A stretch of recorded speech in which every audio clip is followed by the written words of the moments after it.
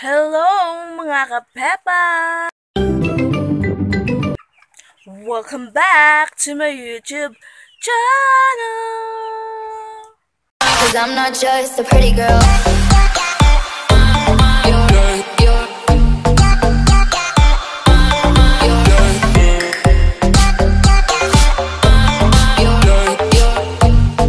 So, for today's video is magtatanim tayo ng kamote. So, naisipan nyo naman talaga, no, bakit ako nag-vlog, eh, magtanim na naman ako ng kamote. So, wala lang, share ko lang sa inyo yung, ano yung buhay talaga dito sa probinsya, dito sa banana plantation, o yan, nandyan, o yan, ito bahay namin, tapos yan, ito, 1 hectares na banana plantation. So, pwede kaming mag-garden dito, dito, free po kaming mag-garden dito since, ito, marami na kasing, ano, anong tawag yan, yung may, marami ng mga sakit dito sa banana plantation, at yung iba is, wala nang tanim, kaya yun, pwede namin yung gardenan. So, pwede namin yung ta- taniman ng kahit anong gulay. Kung anong kahit anong gusto namin, free kami doon. Kasi yun naman sabi ng tsahin ko, pwede kami magtanim doon kahit anong gusto namin, di ba? So, yun yung gagawin natin since it's Sunday. Nandito lang ako sa bahay kasi kahapon, napunta ako sa Panabo kasi nga, nagpa-eyelash extension ako yan. Nakita nyo naman, nagpa-eyelash extension ako as low as 200 pesos lang. 200 pesos kasi nag-sale sila guys. 200 pesos lang kaya nag-sale sila. Tapos sa 24 hours, hindi ko siya pwedeng, anong tawag niyan, hindi ko siya pwedeng basain. Kaya tingnan naman sobrang haggard ko na kasi hindi pa ako naliligo no kasi bawal pang basain to. Mga 12 12 p.m. ko pa talaga to maliligo mamaya. So mamaya tanghali pwede, ko, pwede na ko na tong basain. So kaya ngayon, wala kasi akong trip ngayon at wala akong naisip na vlog. So, talagang hindi pa ako nakabili ng yung anong tawag nung pang vlog. Kaya kamay ko muna yung ginagamit ko. Kasi nga, wala akong nakita kahapon sa panabo na gano'n kasi Actually, Shopee ko siya binili kaya. Pero ngayon kasi, sa Shopee kasi is suspended siya dahil sa quarantine, sa community quarantine. Tama ba yun? So, what are we waiting for? Let's do this in 3, 2, 1. Let's go. Oh, di ba? Sun kiss. Ang init talaga dito, no? So, maghanap muna tayo ng kamote tops. So, meron ng tanim si mama dito yung kamote niya. Kaya yun, kukunan lang natin yun ng kamote tops. Sobrang init talaga dito kasi time check. Anong oras na ba? Siguro mga 9 na. Kaya, good. So, let's go! Sobrang init talaga dito, no?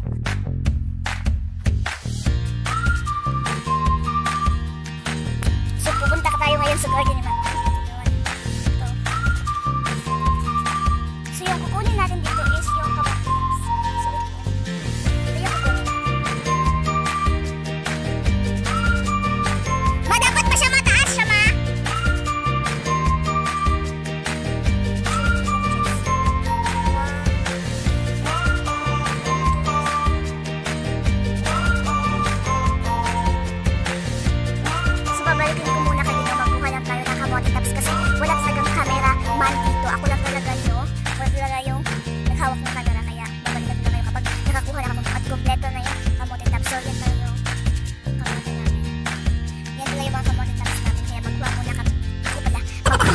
Magkuha muna ako para maitatanim tayo. So, nandito na tayo ngayon sa sa mini garden ni Mama. At ito is eggplant, tapos marami dyan yan.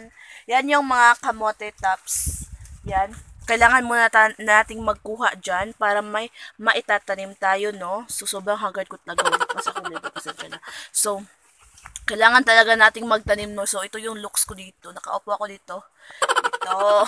Nakaupo ako dyan kasi nga, kapag nasa probinsya ka kasi, dapat hindi ka, hindi ka sobrang OA, 'di ba? Kasi kailangan mong magtanim para may aanihin ka, 'di ba? Isang kasabihan kasi 'yan na pinaniniwalaan namin dito sa probinsya namin. Kasi alam mo naman, lockdown at may community quarantine, is hindi kami masyadong pumupunta talaga sa Panabo. I, as I think sa two weeks is ay sa one month is isang beses lang kaming pumupunta ng Panabo or dalawang beses lang sa one month. So, kaya kailangan naming magtanim dito para naman may aanihin kami, 'di ba? Kapag nagugutom kami, may aanihin kami dito o may at may gugulayin kami, no? So, kailangan talaga namin mag-garden dito. Galaw-galaw din, para, pag may time, kailangan talaga namin mag-garden para naman, you know, hindi na namin kailangan ng pumupunta pa sa Panabo para bumili ng mga pagkain kasi nandito na naman kami. May garden naman kami dito. So, pwede kami magkuha dito. So, my God, sobrang nakaka-stress talaga. Wala akong ligo. So, babalik lang ako later kasi magkuha pa tayo ng kamote tops. Ito yung ganito yung kukunin natin. Yung mga ganito. Yung mga ganyan yung kukunin natin, no? Para itatanim natin sa ating exact area. Charot. So, babalik lang ako later. Bye!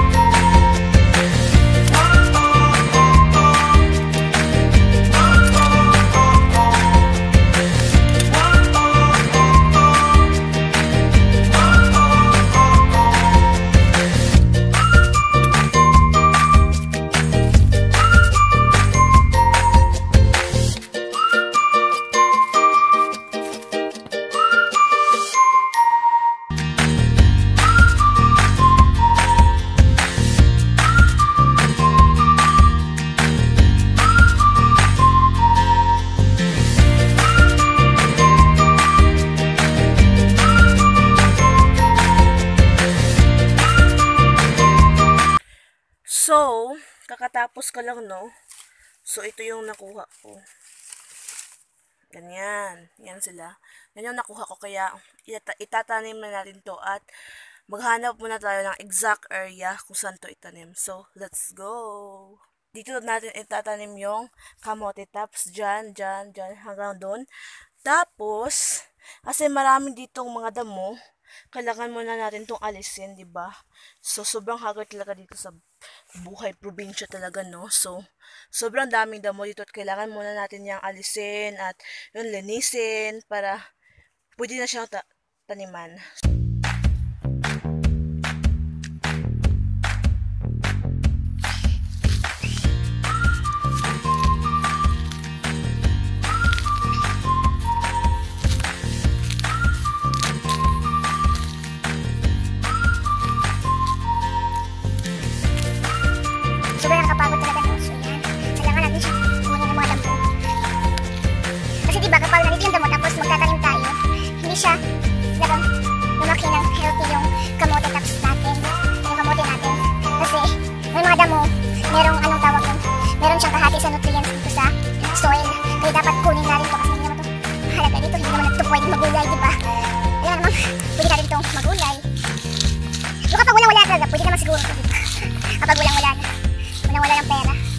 Kasi naka-quarantine kasi tayo ngayon.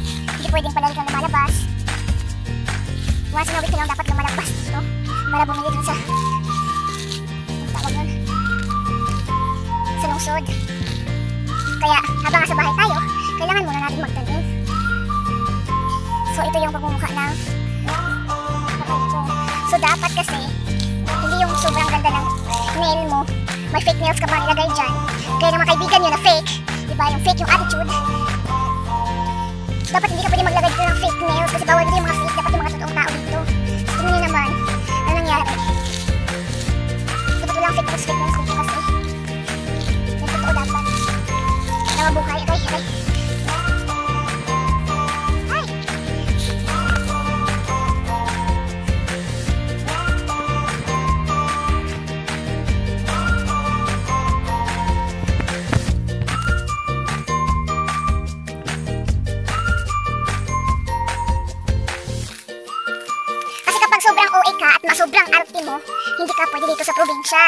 Kasi yung mga nanirahan dito sa probinsya, yung mga taong hindi maarte. Yan talaga yung trabaho ko dito kapag walang pasok. Ay! Ano yun? Ano yan? Lord.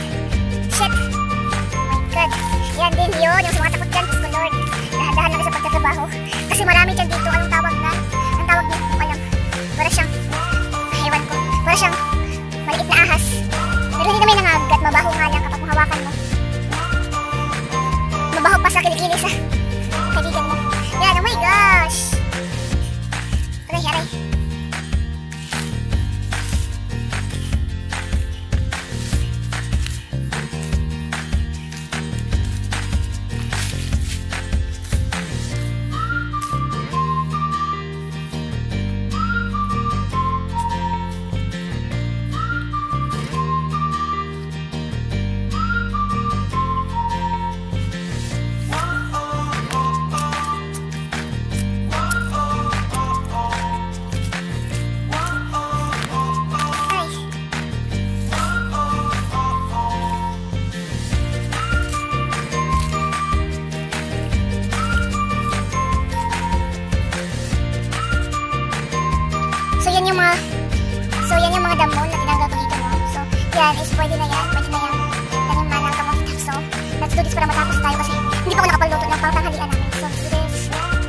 Tapos ka na, no? So, kailangan muna natin tong itanim. Tag-apat-apat siya every hole. So, ito yun. Ayan, tag-apat siya sa kamote tops. Tapos ilagay natin dyan sa hole. Ganyan. Tapos,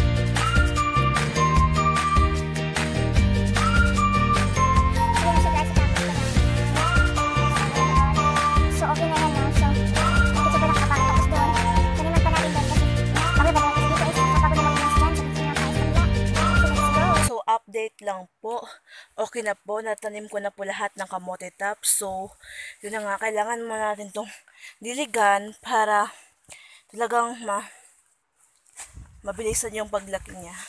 So, pakikita ko sa inyo ngayon and 3, 2, 1. Let's go.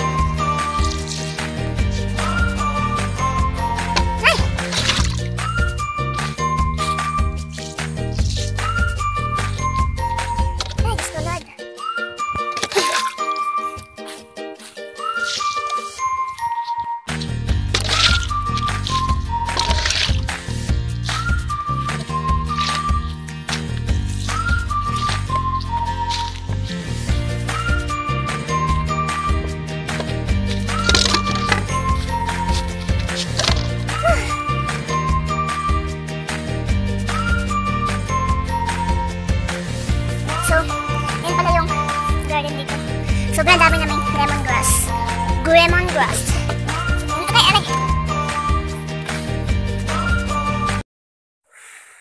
So, tapos na po yun. So, nakita nyo naman na nagdilig na ako sa bago kong tinanim na kamote tops and sobra nakakapagod talaga like oh my god hihintayin mo lang natin yun na ilang days kasi tutubod na yun tapos may kamote na yun sa ilalim ng lupa kapag I- I think mga 2 months or 1 month lang yun. So that's all for this video. I hope you like this video. So kindly like share like share subscribe to my YouTube channel para ma-inform pa kayo ay sa susunod kong video na gagawin. Yeah.